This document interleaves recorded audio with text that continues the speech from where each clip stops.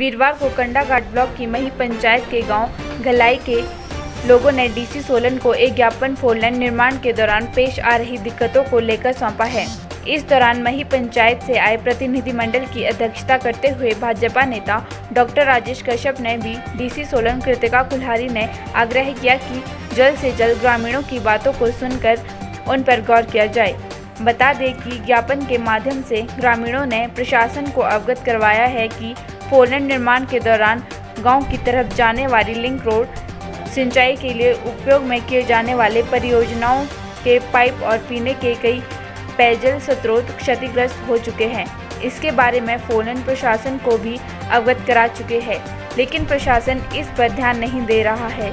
वहीं डीसी सोलन, कृतिका कुल्हारी ने ग्रामीणों को आश्वासन दिया कि जल्द से जल्द इन मांगों की तरफ़ ध्यान दिया जाए।